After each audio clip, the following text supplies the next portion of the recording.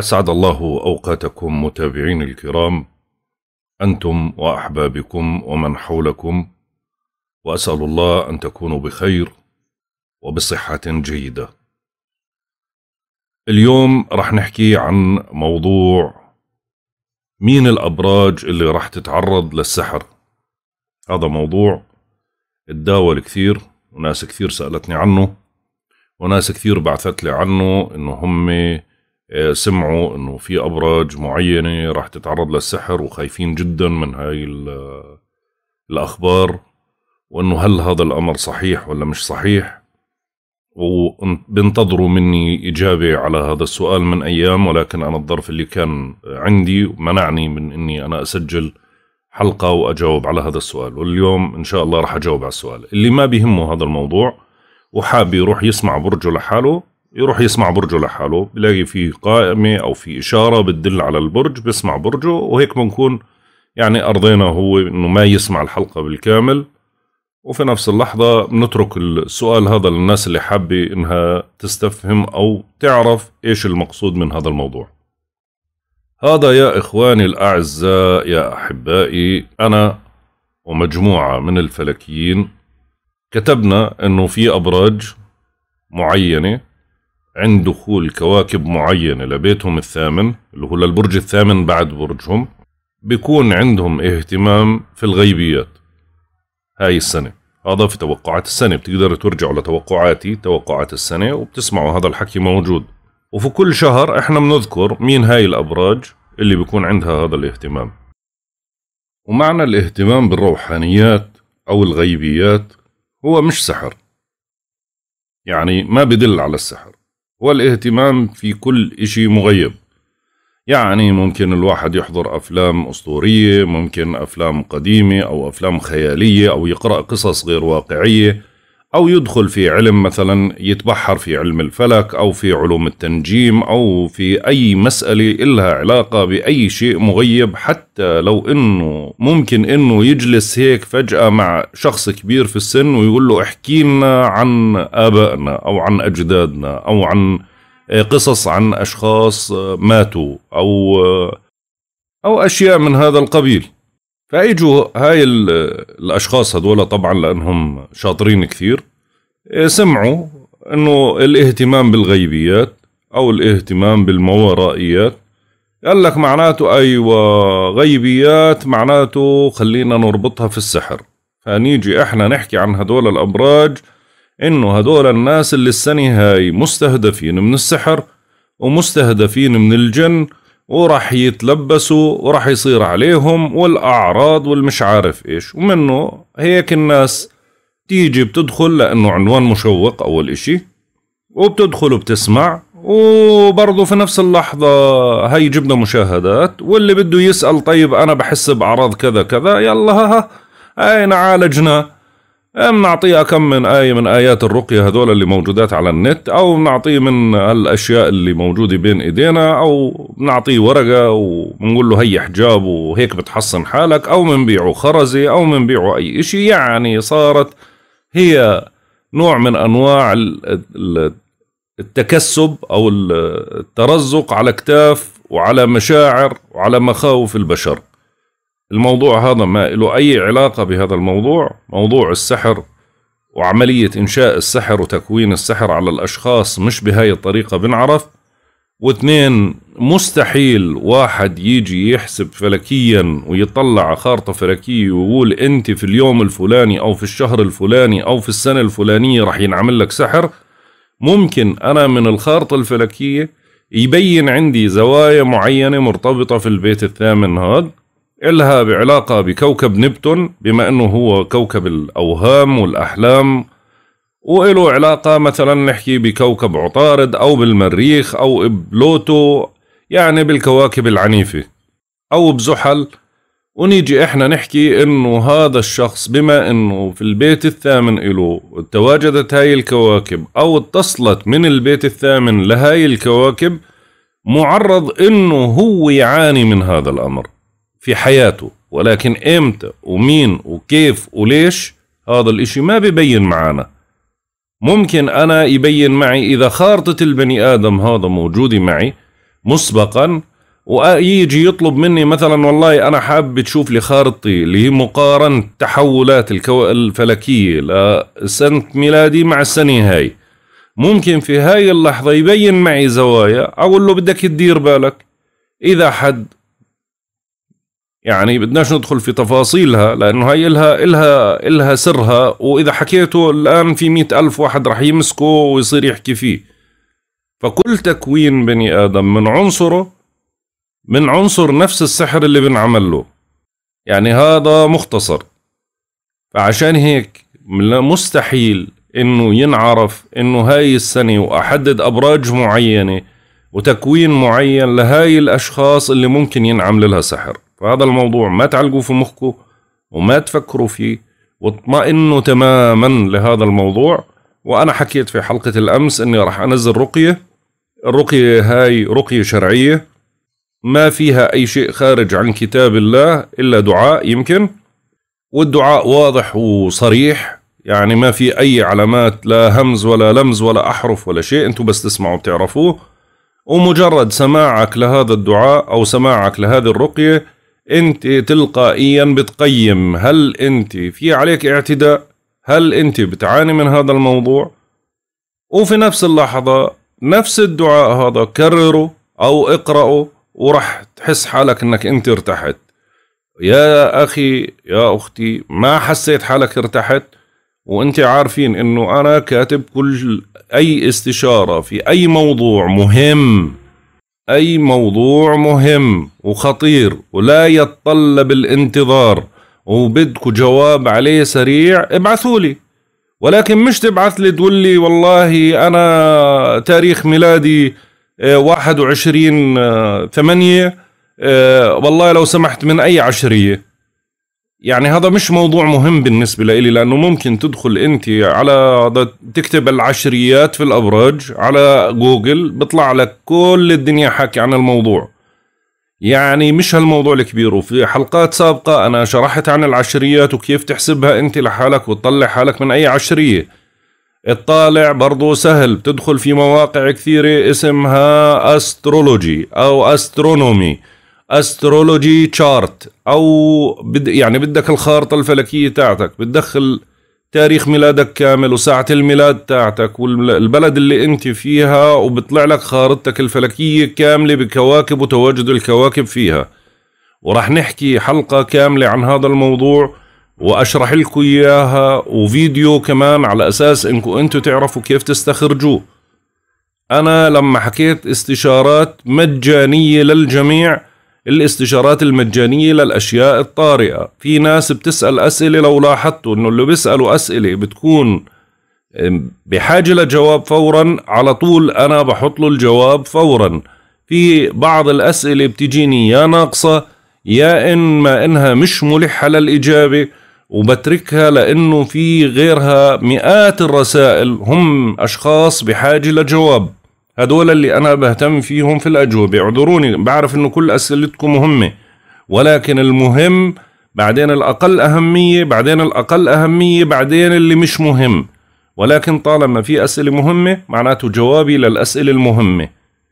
مش الموضوع أني أنا أرسلت قبل ولا أنا أرسلت بعد ولا أنا ما بعرف ولا أنا بعرف. في أشياء لازم أنتوا تعرفوها من طبيعتي.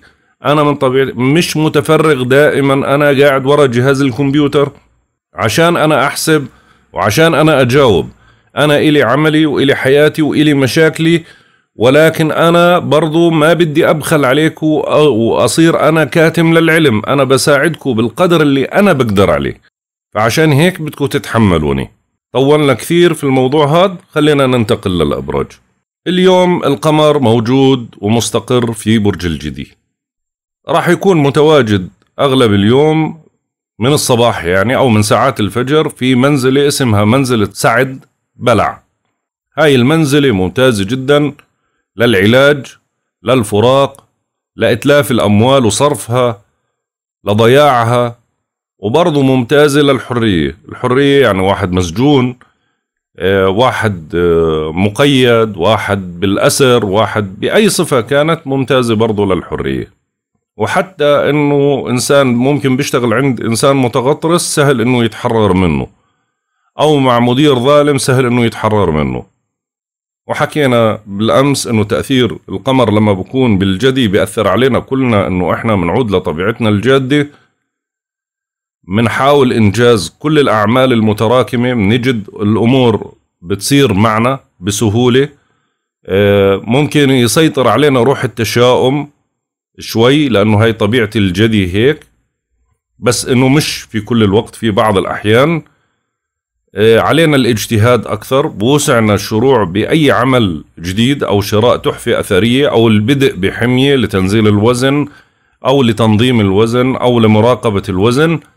وممكن شراء بوليص التأمين أو عمل تأمين.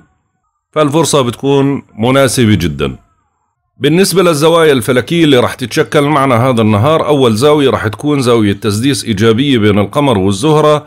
راح تكون الزاوية هاي تقريبا الساعة واحد واثنين وخمسين دقيقة بتوقيت غرينتش فجرا. هاي الزاوية بتأجج العواطف اتجاه الجنس الآخر وبالتالي ممكن ننجح بتعزيز العلاقة معهم وبتعطي دفعة للعاملين في المجالات الفنية أو التجميل أو الديكور وبتحسن من عطائهم وإبداعهم. أما الزاوية التي تليها هي زاوية اقتران إيجابية بين القمر والمشتري. راح تكون هاي الساعة 2 و44 دقيقة صباحا. هاي بتخلينا نهتم بشكل كبير بمشاكل ومتاعب الآخرين اللي حوالينا تحديدا أو الناس اللي ممكن يجوا يشكولنا.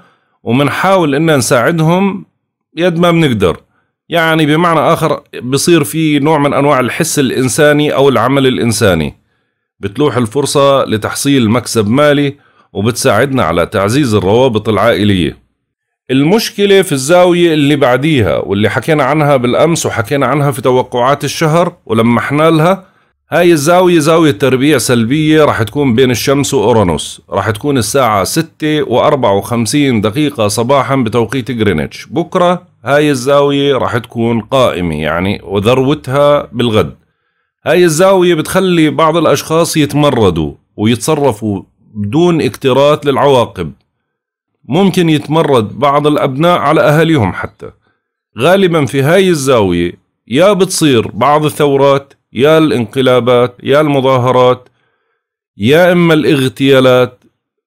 يعني دائما في إلها مصيبة عسكرية في إلها كارثة عسكرية أو إشي سياسي كبير. وبتدل برضو على تغييرات ممكن تصير مفاجئة في حكومة احتمالات في احتمالات للإضراب واحتمالات للاشتباكات مع السلطة بسبب تضييق الخناق أو على الحريات أو على المطالبات خصوصا على الحريات العامة. برضو بتدل على أشياء لها علاقة بالطبيعة. يعني يا عواصف يا زلازل يا حرائق سقوط طائرات آه، حوادث آه، لها علاقة بالسك, بالسك الحديد حوادث سير الأشياء المفاجئة هاي اللي بتصير بدون سابق إنذار. وإن شاء الله أنه كل اللي حكيناه هذا ما يصيرش منه أي إشي خلال فترة الأسبوع القادم. لأنه هاي الزاوية راح تأثر سبع أيام تقريبا. أما الزاوية التي تليها هي زاوية إيجابية برضو راح تكون تسديس بين القمر ونبتون هاي الزوايا السريعة. يعني الزوايا بين الكواكب الكبيرة هي زوايا بطيئة هاي زوايا سريعة. يعني ممكن تستمر ساعتين ثلاثة أربعة أو طول اليوم وتنتهي بعدين. ولكن البطيئة هي اللي بتدوم أيام. زاوية التسديس الإيجابية هاي بين القمر ونبتون هي بتكون الساعة 12 و 19 دقيقة بعد الظهر بتوقيت غرينتش. بتعزز الخيال الخصب وبقوى عنا الحدس وعليه كثير من المستفيدين اللي بيعملوا في مجالات إلها علاقة بالفن والديكور والتجميل يعني بمعنى آخر بما أنها تكررت هاي الزاوية والزاوية التي تليها في بداية النهار إذا هذا يوم فني بامتياز يوم له علاقة بكل إشي يتعلق بالجمال يوم ممتاز جدا وخصوصا أنه في زاوية بعديها راح تكون برضو من الزوايا الطويلة هي زاوية تسديس إيجابية بين الزهرة والمشتري راح تكون الساعة واحدة وست دقائق بعد العصر. في هذا الاتصال تحديدا بتعزز الجوانب الأخلاقية والذوقية في السلوك مما إنها بتسهل علينا التعامل مع الآخرين والتفاهم معهم بتسهل علينا إقناعهم حتى لو كانوا ما عندهم مرونة في التعامل. كمان بتعزز الذائقة الفنية والقيم الجمالية لدى العاملين في المجالات الفنية. في كل المجالات الفنية. بتدل هاي الفترة أو هذا النهار بدل على أرباح في الموارد المالية المهمة بتحقق المؤسسات المالية والبنوك في البلاد أو الاستثمارات أو العملة أو البورصة. في هاي الفترة بتعلي نوع من الارتفاع وخصوصا المشاريع اللي إلها علاقة بالترفيه بالسياحة بالسفر يعني بالمجالات هاي. هاي الفترة مناسبة لعقد معاهدات السلام توقيع اتفاقيات خصوصا الاتفاقيات التجارية خصوصا بين الدول الأجنبية. بتدل كمان على حسن الأوضاع بالنسبة للقضاء مع رجال الدين مع المشتغلين بالسلطة التشريعية مع المجال القضائي مع المجال الميدان الفني على المستوى السياحي الفني.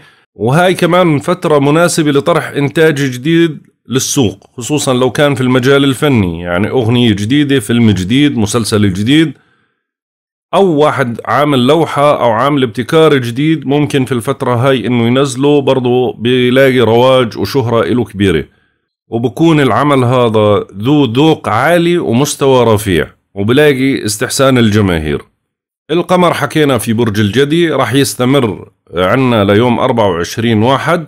خلو المسار القادم راح يكون يوم 24 واحد الساعة 2 و8 دقائق صباحا.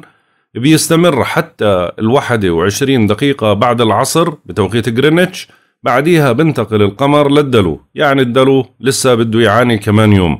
والأسد بده يعاني كمان يوم صعب عليه. عمر القمر هو طبعا بانحسار الهلال عمره 26 يوم في تمام الساعة 2 و28 دقيقة فجرا بصير القمر 27 نسبة الإضاءة بتكون 7% بالنسبة لمزاج الكواكب وطباعها لهذا اليوم الشمس في الدلو حتى 19 2 مزاجها منتحس بسبب الزاوية بينها وبين أورانوس. القمر في الجدي حتى 24 واحد مزاجه منتحس. عطارد في الدلو حتى 3 2 مزاجه سعيد الزهرة في الحوت حتى 7 2 مزاجها سعيد المريخ في القوس حتى 16 2 مزاجه منتحس برضه بسبب زاوية تربيع هو مشكلها زحل في الجدي حتى 11 5 وبعدين بيبدأ في عملية التراجع مزاجه سعيد أورانوس في الثور حتى 15 8 مزاجه منتحس بسبب الزاوية اللي مع الشمس نبتون في الحوت حتى 23 6 وبعدين بيبدأ في عملية التراجع مزاجه سعيد. بلوتو في الجدي حتى 25 4 وبعدين بيبدأ في عملية التراجع مزاجه منتحس. وصلنا لتوقعاتنا اليومية.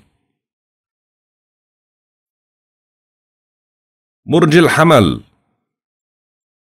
يوم مناسب للي ببحث عن عمل واللي بيعمل ممكن ينجح في مجال عمله أو يدفع بمصالحه بالاتجاه الإيجابي ويحقق إنجازات من هذا الموضوع بيحافظ على إنجازاته كاملة القائمة اللي هو شغال فيها بدون أي أخطاء إن شاء الله ولكن بده يهدي برضه من من عصبيته وانفعالاته خلال هذا النهار لأنه لسه الزوايا هاي بتأثر عليه بشكل مباشر.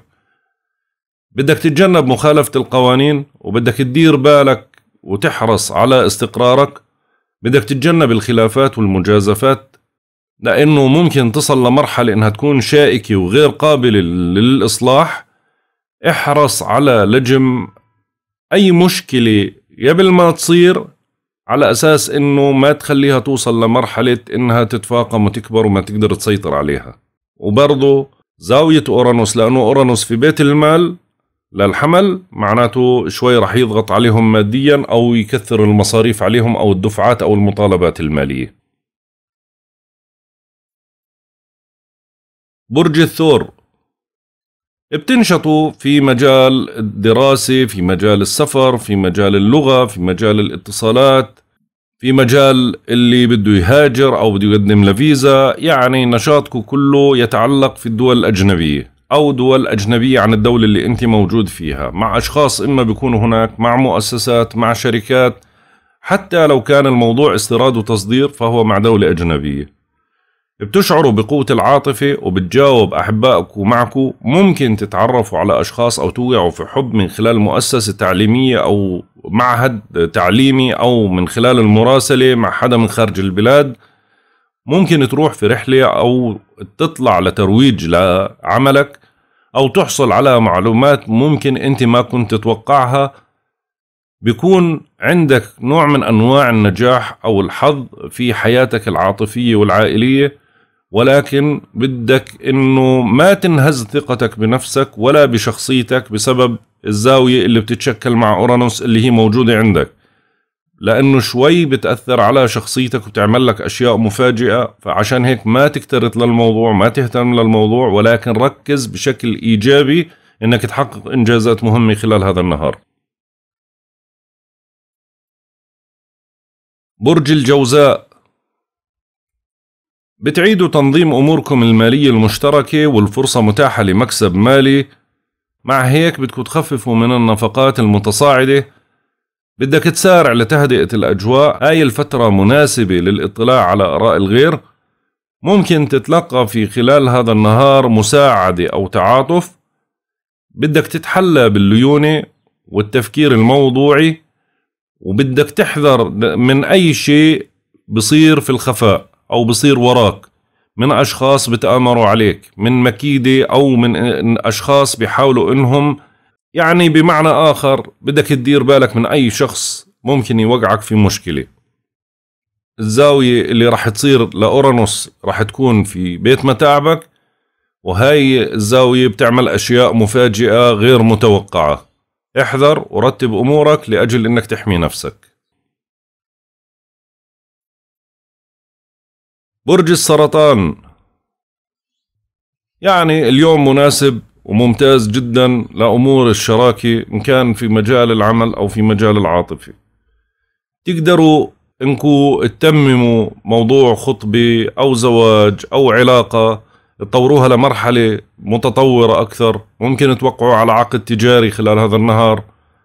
هاي الفترة شوي هي ضاغطة لأنه القمر مقابلك مباشرة في الجدي. فشوي هذا بيضغط عليك وبسحب من طاقتك. أهم إشي إنه ما تنفعل وبدك تحافظ على صحتك وتراقب صحتك وبدك تكون صبور جدا وبدك يكون عندك مرونة عالية جدا. ممكن تتعرض لمضايقات أو خلافات ما تأزمها وتكبرها عشان ما تتفاقم المشكلة مع الشريك وفي نفس اللحظة بدك تحذر من زاوية أورانوس اللي حكينا عنها في بداية الحلقة لأنها في بيت السمعة. فدير بالك من أي خلاف ممكن يأثر على سمعتك في المستقبل. بدك تحذر من أي شخص بتآمر على سمعتك خلال هاي الفترة. برج الأسد. انجزوا كل إشي بتقدروا عليه خلال هذا النهار. بعرف إنه الأمور ضاغطة وبعرف إنه العمل ممكن يتراكم عندك وما يكون لك نفس إنك أنت تكمل شغلك أو ظلك هيك حاب إنك تأجل حاب تأجل. لكن برضو رغم هيك حاول إنك ما تبالغ في إنك لا في التأجيل ولا في مجال العمل. القمر موجود في بيت الصحة شوي بضغطكم صحيا فعشان هيك بنحكي بدكم تنتبهوا لأكلكم لراحتكم بدك تكون برضو لأنه برضو في بيت له علاقة بالعمل بدك تكون منظم وتعرف كيف تحسن إدارة عملك. حاذر من الجدال خصوصا مع الناس اللي بيشتغلوا معك مع الإداريين ما تهمل صحتك وما تأجل ولا تماطل في موضوع العمل. حاول إنك أنت تركز حتى لو اضطريت إنك تعمل لساعات إضافية ولكن حاول إنك تنجز الأعمال الموكلة لإلك ما تأجلها لأنه تأجيلها راح يأثر عليك في العمل ويأثر عليك مع المسؤولين عنك في مجال العمل. وبرضه بدك تنتبه لأنه في ناس ممكن تتآمر عليك من خلف الكواليس تروح اللي هي شاكيتك إسفين راح يأثر عليك كثير. بدك تكون منتبه لأنه دائما النجاح في مين يحسدك وراه وفي مين يكيد لك وراه. أرجو أنه هيك أكون وصلت الرسالة. برج العذراء يوم ممتاز جدا للأمور العاطفية بتشتد رغبتكم في التقرب من أحبائكم. ممكن تعززوا العلاقة معهم ممكن تطوروا علاقتكم لدرجة لأعلى من المكان اللي أنتم موجودين فيها. يعني تطوروا علاقة حب توصل لمرحلة الخطبة أو الطلبة أو الاتفاق على زواج. ما بتخلى الحظ عنكم لا ماليا ولا عاطفيا. بتنفرج أساريركم وبتعيشوا لحظات سعيدة نسبيا. فترة إيجابية ومناسبة لطرح الأفكار والارتباط. أهم شيء أنك ما تهمل الواجبات اتجاه العائلة والأحباء صحح أخطائك وبدك تحذر من أشياء مفاجئة ممكن تظهر لك على الساحة بشكل مفاجئ جدا خلال الفترة القادمة إما على المستوى العاطفي أو على مستوى السفر أو على المستوى الخارجي. سفر علاقة مع أجانب مع مؤسسات أجنبية دراسة على مستوى امتحانات بدك تكون إذا عندك امتحان خصوصا في المجال الجامعي بدك تدرس مزبوط قبل ما تدخل على الامتحان. ما تعتمد على الحظ بهي الفترة خصوصا في الامتحانات أو بالسفر. برج الميزان. يعني برضو اهتمامكم راح يكون النهار هذا على المنزل على المسكن على العيلة على أفراد العيلة على أبنائكم على إخوانكم. بوسعكم إدخال أي تعديل مطلوب على مسكنكم. ممكن تجدوا نوع من أنواع التعاون مع من أفراد العائلة. ممكن تقلق حول موضوع عائلي أو منزلي. ممكن تظهر لك مشكلة شخصية ما تتهرب من المسؤولية تجاه العائلة. اللي أجواء شوي فيها نوع من أنواع العدائية والتوتر. ممكن يتأخر موضوع له علاقة بقرض له علاقة بدعم مادي له علاقة بتعويضات بوليس التأمين. وممكن يجيكوا خبر عن وصية أو آه، شيء له علاقة بشيء قديم يرجع ينفتح على الساحة ويزعجك كثير. وبدك تدير بالك تراعي وضعك الصحي. برج العقرب. بتنشطوا في السفر والاتصالات والتنقلات. يوم مناسب لاجتياز امتحان ممكن انكم تعززوا العلاقة مع أخ أو مع جار.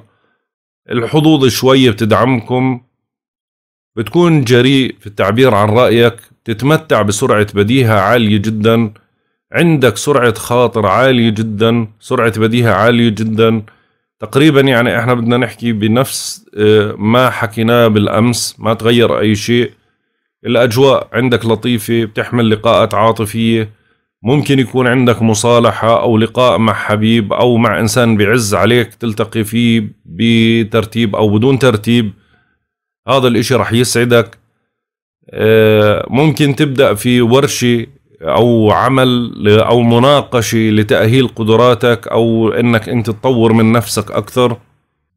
ولكن بدك تنتبه على مستوى الشراكة وعلى مستوى التنقلات.